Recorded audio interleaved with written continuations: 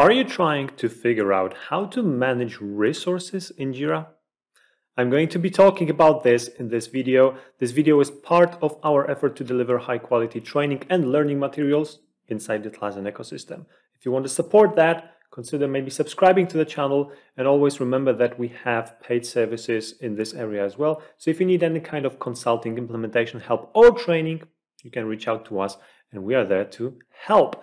And now let's talk about how Jira allows you to manage resources, or actually how it doesn't allow you to manage resources. Because essentially, Jira, when you think about typical resource management, especially from the waterfall point of view, so you want to see who is loaded with what kind of work, what's assigned to whom, uh, how they are filled in terms of you know their capacity compared to the workload. There is nothing like this in Jira. And uh, as much as I would love to show you something interesting here, maybe on the timeline, maybe in, in, in sprints, maybe in um, reports, for example, here that are built in into out of the box Jira, you won't find anything like that. The, the only exception is that when you're working with uh, the agile approach and you're working with the sprints, then essentially you get to see who is involved in, in, in the activities that are happening inside the sprint. And you're able to do some things over here, but there is nothing that comes even close to what typically people are looking for when they are thinking about resource management. That's why, unfortunately, for your pockets or, or your company's finances, you will have to dig into some apps, some add-ons on top of Jira to help you manage resources. And th there are several of them. Um, well, actually, I should say probably that there are many of them. Several of them do it pretty well. The, the, the one I want to show you today is Big Picture. I'm not going to lie, it's one of our favorite add-ons when it comes to all kinds of things regarding project management, including resource management.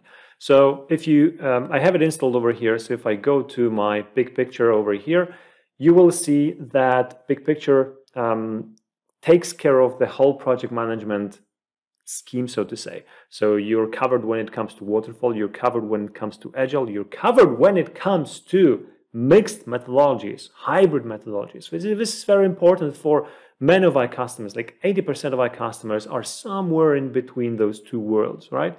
But this tool also works for portfolio management, for program management, risk management. So many things can be beautifully done here in BigPicture, but we are going to be talking today about resource management. So I will show you two places uh, where actually maybe three places even where resource management actually happens in BigPicture. So the first place I want to take you to is the Gantt view. So I'll, I'll, I'll hide the uh, resources panel for a moment, and I want to show you that this is the view where you are able to see your Gantt.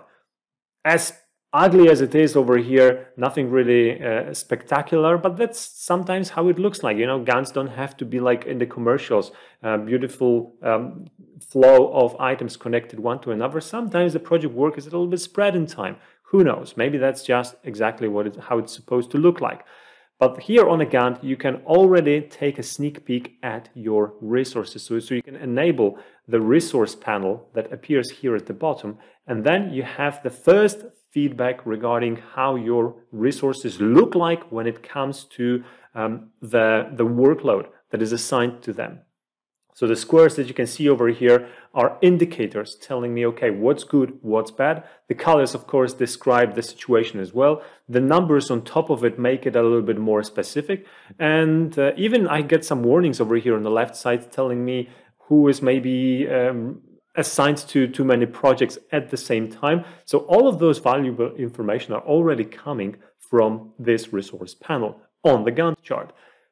If you move on from the Gantt to the resources module in BigPicture, then you will get even more important information. So in, in this screen or on this screen, you will be able to dig in and acquire a lot more data, right? So you will see the capacity capacities of people over here. You will see the workload assigned to those people. If you want to see, it, it will also display the remaining uh, availability of the people. you you can see exactly what is assigned to whom.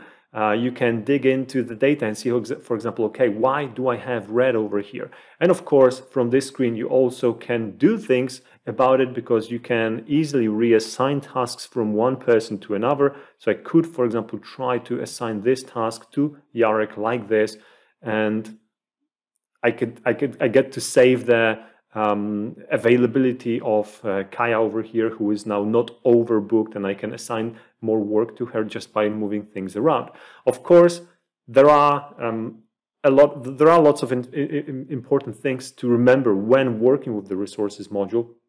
There are lots of do's and don'ts uh, that uh, you should be aware of. So I'm not going to be covering those in a video. If, if you're interested in this, then absolutely go and take a look at our courses available on our website, uh, links in the description of this video.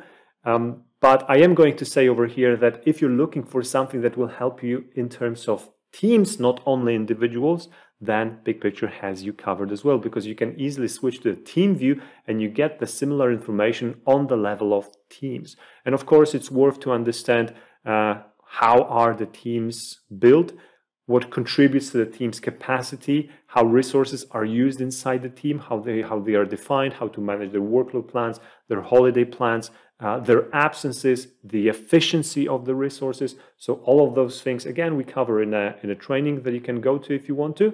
Um, but uh, another important aspect that I want to go into is that managing by teams is done not only here in the resources in kind of like a, a waterfall way, although if you want to, you can switch over here to the story points view, but you can also manage teams from the perspective of the board module. So let's see if I have any data over here. Um, we have reports turned on, that's okay. Let's get rid of the reports. But that also means if we if I have data in the reports, that means that I have some data over here. And from this screen, you also have your teams available over here. You can assign tasks to your teams. You can follow the totals on the level of those teams, for example, from the perspective of capacity allocation.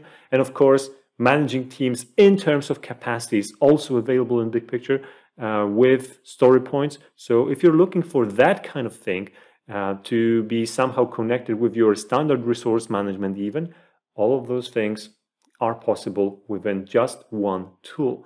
So basically what I'm trying to say is Jira doesn't do very well when it comes to uh, resource management. And if you want to manage your resources, you need to look outside the box, meaning Jira apps. Um, and if you would like to hear about possible solutions that could address the problems that you're currently facing or challenges or needs that you have in terms of resource management, simply drop us a note. There is an email probably over there uh, which you can use to write to us tell us what you want to achieve, and we will be happy to schedule a free call during which we will tell you uh, that there are some tools that can help your particular case, or maybe there it's quite complicated and uh, there is nothing in the Atlassian ecosystem that can help you out. Although I do believe that most of the time we will be able to find a solution for you. And then if you want to carry on with this solution by yourself, by all means, feel free to do that. If you will want to hire our professional services to help you out on the journey, we will also explain how we can help and uh, give you all kind of guidance that you might need. Thank you very much for listening, and I'll be seeing you in one of the next videos.